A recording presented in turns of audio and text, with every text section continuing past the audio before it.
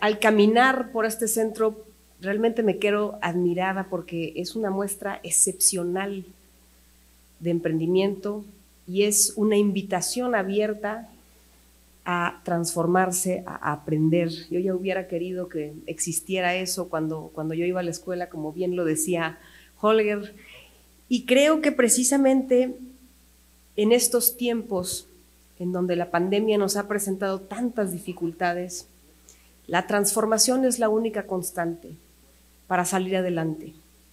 A mí me parece que las ideas no solo son de quien las piensa, sino las ideas son de quien las trabaja. Y hay una gran diferencia entre poder tener una visión y luego poner el esfuerzo y el empeño para desarrollarlo.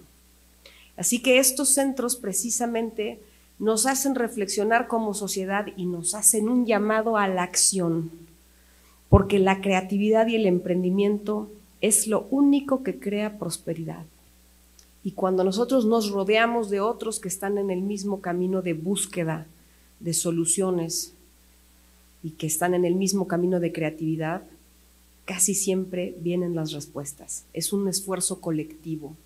Así que yo quiero felicitar, por supuesto, al gobernador, a la secretaria, a la industria de Volkswagen, porque creo que en la medida que nuestros jóvenes tengan estas herramientas, es que se transforma este Estado y por supuesto que también nuestro país. Gobierno de Puebla, hacer historia, hacer futuro.